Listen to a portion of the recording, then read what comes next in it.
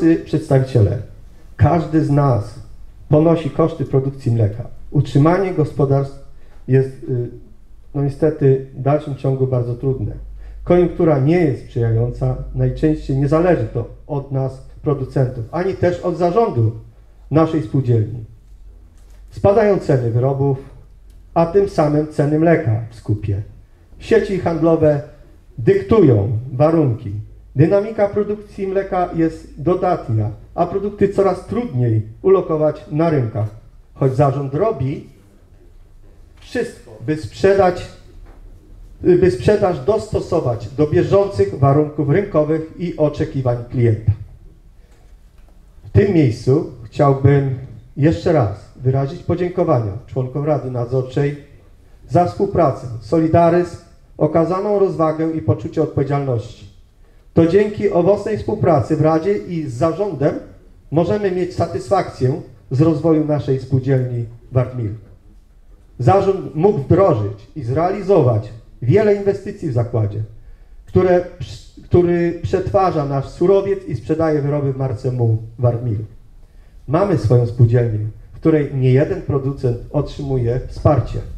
Staraliśmy się jak najlepiej i odpowiedzialnie wykonywać obowiązki wynikające z pełnionych funkcji. W różnych sytuacjach, jakie się zdarzały, każdy kierował się jak najlepiej pojętym interesem spółdzielni i jej członków.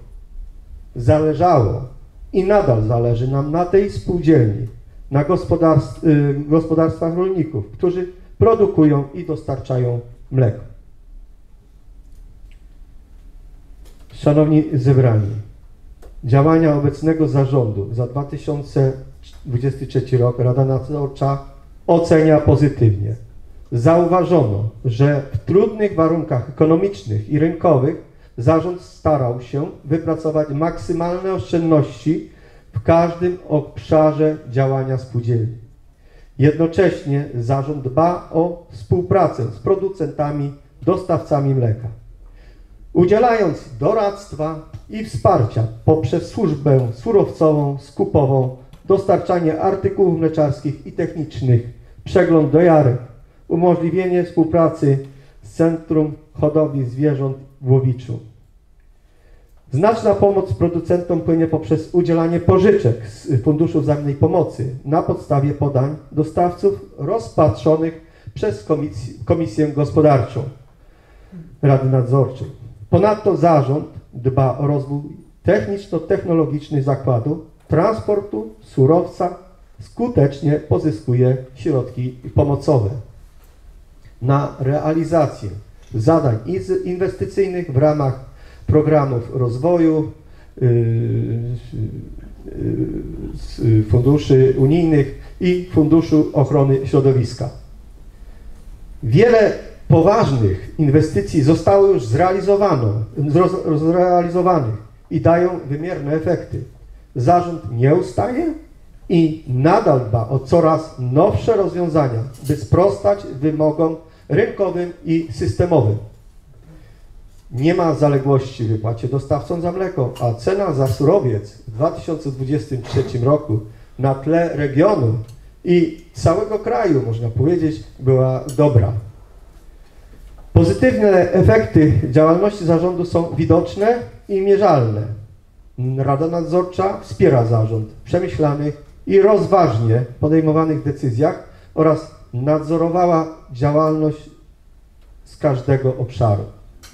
Z upoważnienia Rady Nadzorczej wnioskuję do Was, szanowni przedstawiciele, o udzielenie absolutorium 2000, za 2023 rok wszystkim członkom zarządu spółdzielni.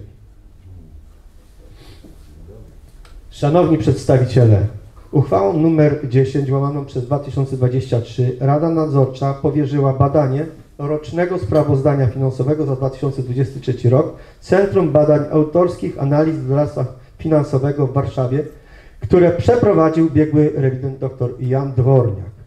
W miesiącu kwietniu bieżącego roku Komisja Rewizyjna i Rada Nadzorcza zapoznały się z oceną sprawozdania finansowego i bilansem spółdzielni za 2023 rok, którą złożył pan biegły rewident. Szczegółowo zostały omówione Wszystkie istotne elementy przedmiotu badań, jak również zasygnalizowane zostały ewentualne zagrożenia i obszary do doskonalenia. Wraz z zarządem Rada Nadzorcza przyjęła ocenę przedłożoną przez biegłego. W realizacji swoich obowiązków Rada chętnie korzysta z wniosków i uwag biegłego rewidenta. Szczegółowy raport z badania, sprawozdania fachowo przedłoży Państwu biegły rewident y, dr Jan Dworek. W imieniu Rady Nadzorczej chciałbym podziękować Panu doktorowi Janowi Dworniakowi za otwartość, życzliwość i fachowe wsparcie. Szanowni delegaci, w imieniu Rady Nadzorczej wnoszę o przyjęcie raportu oraz podjęcie uchwały w sprawie zatwierdzenia sprawozdania finansowego i bilansu za 2023 rok. Szanowni Państwo, y, dziękuję za wysłuchanie sprawozdania z działalności Rady Nadzorczej. Jeśli będą pytania, chętnie odpowiemy.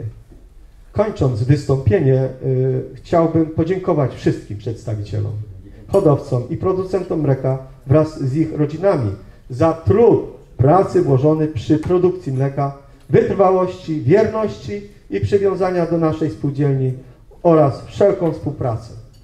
Dziękuję instytucjom i organizacjom współpracującym z nami i wszystkim dziś obecnym na obradach. A na ręce przewodniczącego Związków Zawodowych Pracowników Wartmilk składam również podziękowania całej załodze zakładu. Dziękuję Państwu za uwagę i w imieniu Rady życzę miłej atmosfery obrad. Dziękuję.